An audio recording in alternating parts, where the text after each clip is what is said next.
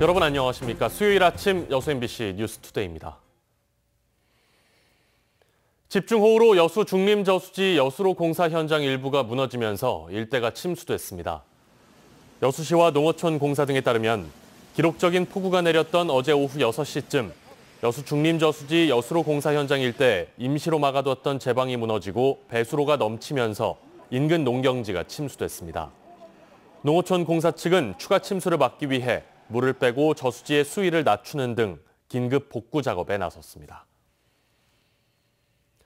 광양 산사태로 주택 매몰 사고가 발생한 마을 주민들은 인근 주택 공사 현장의 부실한 안전 관리로 붕괴 위험이 컸었다고 주장하고 있습니다.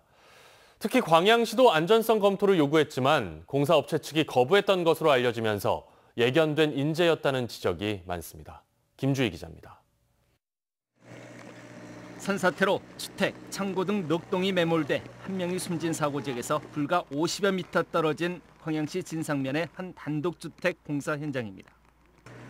폭우 속에서 공사 현장은 붉은 토사가 끊임없이 흘러내립니다. 언제 사면이 쏟아져 내릴지 모를 정도로 위험천만해 보입니다.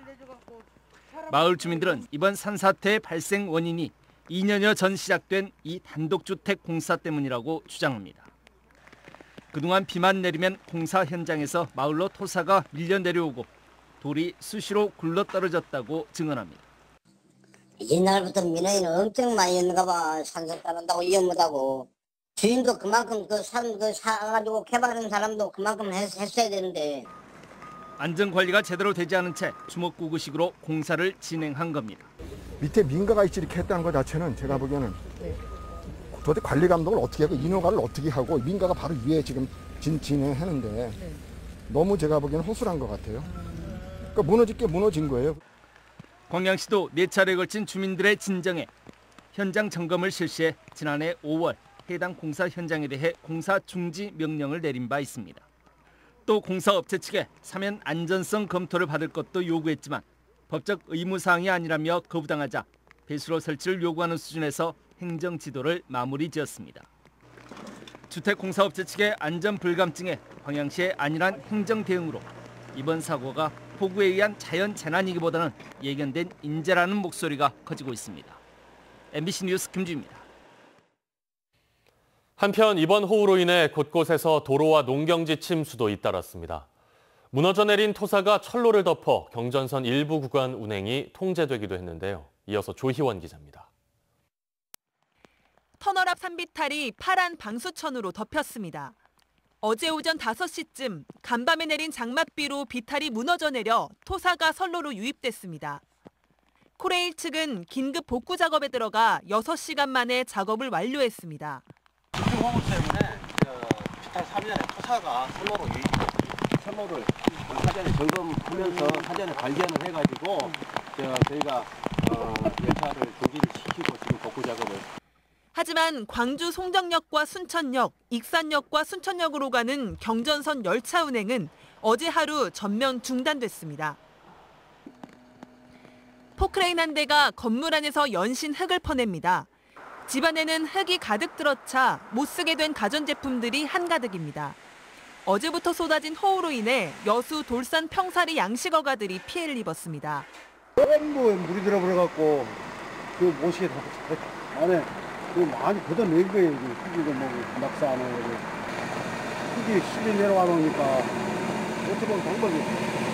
시간당 70mm의 폭우가 내린 고흥 도야금 일대에서도 주택 10가구가 침수됐고 도화면에서는 하천이 범람해 인근 시장이 온통 물에 잠겼습니다. 또 10여 곳의 도로가 침수돼 긴급 복구 작업이 이뤄졌는데 순천 서면에서는 미처 통제되지 않은 지하차도를 통과하던 트럭이 갑자기 불어난 물에 잠겨 운전자가 구조되기도 했습니다. 곳곳에서 농경지 피해도 잇따랐습니다. 간밤에 내린 폭우로 인해 갓 모내기를 마친 논이 보시는 것처럼 호수처럼 변해버렸습니다. 농민들은 무너져 내린 논둑을 복구하며 연신 한숨을 내쉽니다. 지금 이대로 놔두면 전체가 다 무너지죠 이쪽으로. 적당히 비도 적당히 와야 되는데 올해는 이상하게 비가 많이 오고 많이 너무 많이 예년에 비해서는. 침수 피해를 입은 농경지는 고흥에서만 5,100여 헥타르, 여수와 광양, 순천에서도 크고 작은 농경지 피해가 발생했습니다. 지난 5일부터 어제까지 누적된 강우량은 고흥 373mm를 최고로 여수 297mm, 광양 260mm, 순천 207mm를 기록했습니다. MBC 뉴스 조희원입니다. 뒤늦게 찾아온 이른바 지각장마가 시작부터 많은 비를 퍼부으면서 앞서 보신 것처럼 크고 작은 피해가 속출하고 있습니다.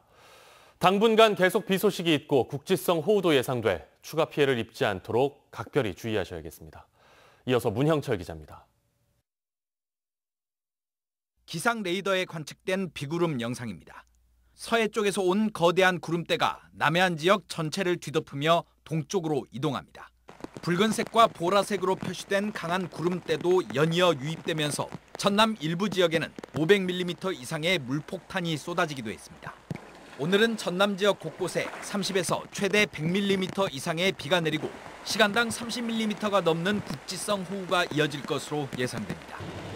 동서로 길고 남북으로 폭이 좁은 형태로 정체 전선의 이동 상황에 따라서 강수량의 변동성이 매우 클 것으로 예상되고 있습니다. 예년보다 보름 정도 늦게 찾아온 이번 장마는 전선의 상하 이동폭이 짧은 탓에 남부 지역에 비가 집중적으로 내려 피해 위험도 높습니다. 도내 산사태 취약 지역은 2,300여 곳으로 인근 9,400여 가구가 위험에 노출돼 있는데 초반부터 장맛비가 강하게 내려 집안이 약해진 상태라 우선 안전한 곳으로 대피해야 혹시 모를 인명 피해를 막을 수 있습니다. 또 해안가나 하천, 계곡은 순식간에 물이 불어날 수 있어 최대한 접근을 삼가야 합니다. 강풍주의보는 일단 해제됐지만 순간적으로 몰아치는 돌풍으로 인해 피해가 발생하는 경우가 많아 이에 대한 점검도 필요합니다. 바람의 영향으로 이탈해서 인명이나 재산 피해를 줄 수가 있습니다. 그런 부분도 좀 각별히 유의해서 다시 한번 낮에 잘 살펴봐 주시고 한편 이번 호우의 영향으로 어제 여수와 고흥 지역의 여객선 운항이 대부분 통제된 가운데 이용객들은 선사 등을 통해 미리 운항 여부를 확인해야 불편함을 피할 수 있습니다. MBC 뉴스 문형철입니다. 집중호우가 이어지면서 전라남도가 비상근무에 들어갔습니다. 전라남도는 재난 상황실을 운영하며 일선 시군 지자체, 소방서 등과 긴급 연락망을 유지하고 지역의 피해 상황을 모니터링하고 있습니다. 일선 시군도 농작물 침수와 산사태 등 피해가 발생한 곳에 장비와 인력을 긴급 투입하는 등 비상근무를 이어가고 있습니다. 전라남도 농업기술원은 농작물 관리 요령을 긴급 발표하고 철저한 관리와 함께 기상 정보를 수시로 확인할 것을 당부했습니다. 농업기술원은 벼농사는 논에 물이 잘 빠질 수 있도록 배수로를 정비하고 많은 비로 벼가 물에 잠겼을 경우 물을 뺀 다음 새물로 갈아줘 뿌리의 활력을 높여야 한다고 밝혔습니다. 또 축사는 환기시설과 가축 분뇨 저장 퇴비 시설의 물 빠짐을 수시로 확인하고 시설하우스는 물에 잠길 경우 신속하게 양수기 수중 펌프 등을 활용해 물을 빼고 환기를 시켜줄 것을 당부했습니다. 하계 휴가철을 맞아 코로나19 예방을 위해 전남 지역에서는 마스크 착용 의무 장소가 지정됩니다.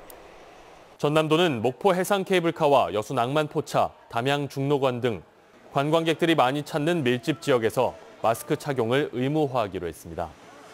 다만 백신 접종자 인센티브에 따라 백신을 한 차례라도 접종하면 야외에서는 마스크를 벗을 수 있습니다. 전라남도는 마스크 의무 착용 장소에서 마스크를 착용하지 않으면 당사자에겐 10만 원 이하, 시설 운영자에겐 300만 원 이하의 과태료를 부과할 예정입니다. 여수시 의회가 어제 단행된 5급 이상 인사 발령은 지방자치법을 무시한 처사라며 발령 철회를 촉구했습니다. 여수시 의회는 의회 사무국의 인사는 의장의 추천을 반영하도록 지방자치법에 규정돼 있는데도 여수시가 의회가 추천한 A국장이 아닌 B국장을 일방적으로 임명했다고 주장했습니다. 시의회는 그동안 여수시장이 재난지원금 지급과 별관 증축 등 여러 차례 의회를 무시해왔고 이번 인사도 그 연장선에 있다며 강력 대응하겠다고 밝혔습니다. 이에 대해 여수시는 A국장은 현 보직에 간 지 6개월밖에 안 돼 교체 추천을 요구했지만 시의회가 A국장만을 고집하고 있다며 지속적인 소통으로 시의회를 설득하겠다고 해명했습니다. 광주시와 대구시가 달빛 동맹을 더욱 확대 발전시켜 나가자며 다시 한번 뜻을 모았습니다. 양 지역의 상생 발전을 위해 보다 전략적으로 힘을 모아가기로 한 건데요. 조현성 기자가 취재했습니다.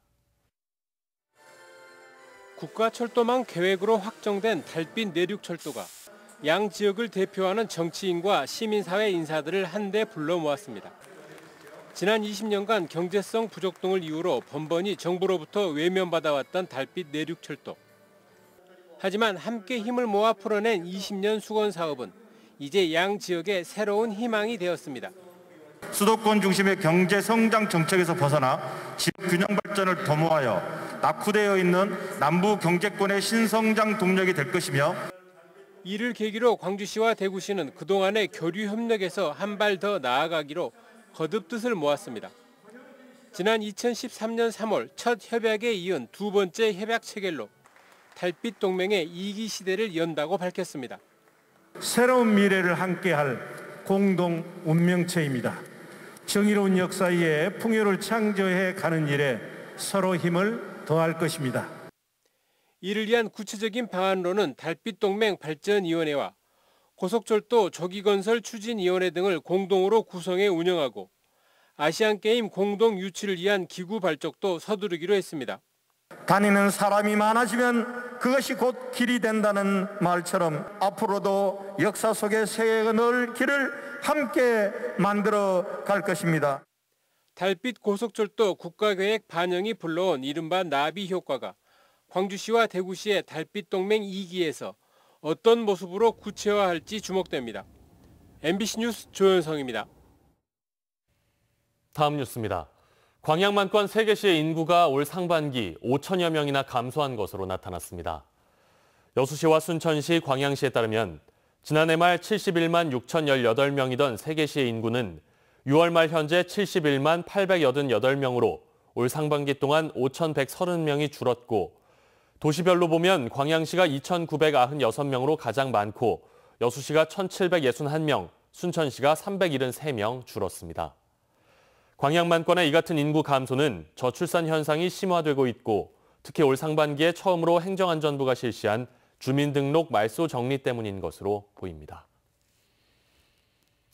여수시 화양면에 들어서는 국내 최대 규모의 체험형 테마파크 관광단지인 챌린지 파크가 어제 착공식을 갖고 본격적인 공사에 들어갔습니다.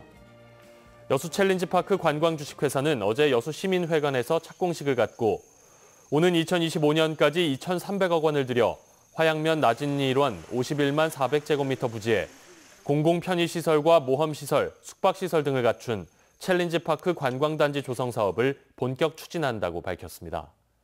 챌린지파크는 우선 1단계로 루지, 2단계는 500실 규모의 호텔 숙박시설, 3단계로 챌린지파크와 상업시설을 조성해 세계 유일의 익스트림 체험형 리조트로 개발될 예정입니다.